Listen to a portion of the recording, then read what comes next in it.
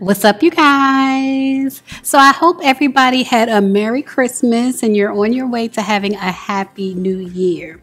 It's time for me to get back into the tea with the Real Housewives of Potomac because tea has been spilling that the contracts, the contracts for next season, season six of Real Housewives of Potomac, have gone out.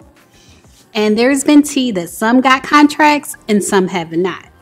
Now, I did cover this in a video with Bondi Blue a few weeks ago, and there's a link to that video in the top right hand corner of this video where I said that Andy made a statement that he thinks the RHOP cast is perfect, quote unquote perfect, as it is now.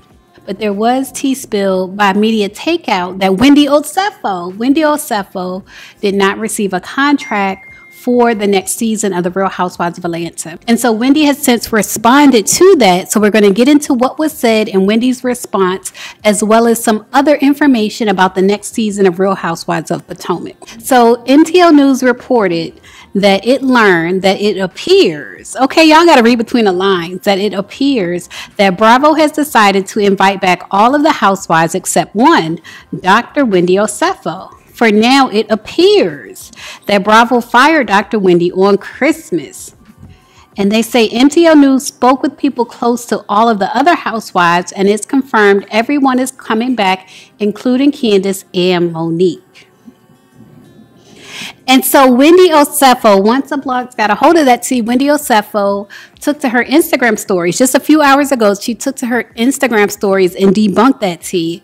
And she posted, Imagine citing media takeout as a verifiable source. Men lie, women lie, contracts don't. And the thing about media takeout is most people know by now that it's satire. media takeout is like celebrity news satire, and that's why you see half the stories are true and half the stories are false because they're doing satire.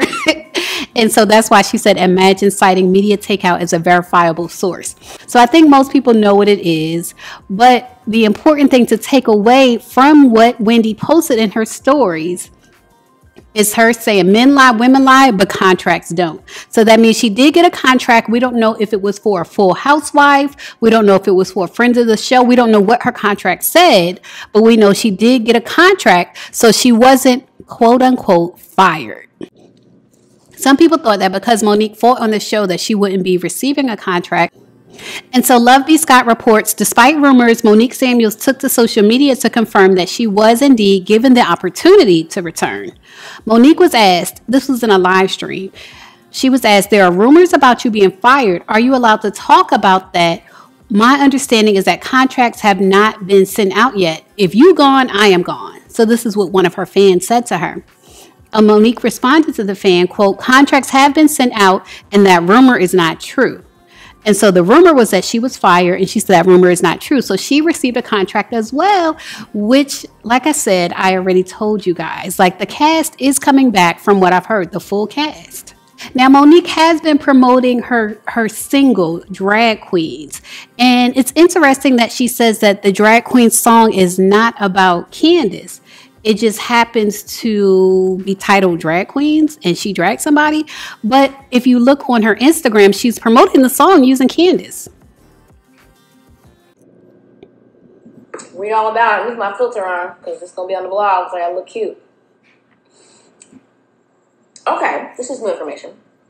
Monique claims y'all plotted against her at andy's baby shower. So there was a conversation about Monique at not at the shower, but after the shower. We were eating somewhere, and there were several. Not there were a couple of people there with me. Several people there with me, and there was a conversation about someone plotting to spread a rumor that Chase was not Chris's baby. That conversation happened. I was there for it. I never contributed to the plotation of the conversation. Ever. As a matter of fact, I said that that would never fly. And it should be dropped. I know that I also said that Monique talks a lot, and Robin said to me, Robin there. Robin said to me, um, "Oh, you talking about your friend?" I was like, "Yes, but we are. She's not here to defend herself, so let's not talk about her." And there were other things said, other kind of plotty things that were said. And I want to. I also want to say that I told Monique what was said at that dinner, but I was never a part of any plot there or anywhere else. You can you can hit me with any other scenarios, and I will tell you what happened. I was never a part of any plot to plot against Monique. Like it's just the narcissism. Why do you think everybody's trying to plot against you? You are not that important. You don't matter that much. You don't. It's just the arrogance of it all. Yes, a parasite. That is the right word. Oh, yeah. That was going to be the rumor. Sky 1000, the rumor, let me get my filter on because it's going to be on the blog. The rumor was going to be that it wasn't Chris's baby, it was a trainer's baby. That was what was that was what somebody was going to try and make the rumor out to be. And I said, that baby looked just like Chris. That Chris Samuel spat that baby out. There's no way that no, anyone is going to believe that this is not Chris's baby. And I think that's why it never ended up coming out. Why this person never started that rumor because Okay, so that's what Monique Samuels posted on her Instagram, and she put in the caption, but they say there was no plot. And then she quoted the Bible, y'all. She said, Sit at my right hand until I make your enemies your footstool. Funny how they snitch on themselves. Subconsciously, they're hashtag Team Monique. And then she put, Download my new single, Drag Queens, official video release 12 27 20 on my Tea with Monique YouTube channel at 11 p.m. Eastern Standard Time. That's tonight. And then she said, video taken from Post-it. She calls Candiace Post-it's live feed. And this was Candiace on live a few months ago. And so she is using Candiace to pr- promote her song, Drag Queen. She said the song is not about her, but she's using her to promote it because you see right here clearly in the caption, she says, download my new single, Drag Queens, with the video of Candiace. And then she goes on to call Candiace by her nickname, Post-it. Now, you guys, if you drop down below my video, you will see my self care affirmations. You don't have to use post it notes and stick them all around your house, especially when people are watching.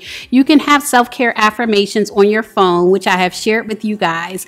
These are available for a limited time. Teespring has actually reached out to me. Teespring reached out to me and asked me to create another set of self care products. So, this set is going to go away soon because I'm going to be creating another set of self care products products for you guys. So if you're interested in self-care and, and self-affirmations, which is what Candiace was trying to do with her post-it notes, but they were very, you know, public. She was filming, showing her post-it notes. If you want to privately do affirmations, one way to do them is on your phone. Now, a few weeks ago on a podcast, and I'll put a link to the full podcast below, on a podcast, Candiace talked about whether she would film another season with Monique Samuels. And she said, quote, no, I am not taping another season with her. I will not be doing that. Everyone knows that. That has been made clear. I will never film another season of any show with someone who can't do what she did, who can do what she did, and then conduct themselves in the aftermath of what she did the way she did. And she means, you know, making a song about dragging somebody.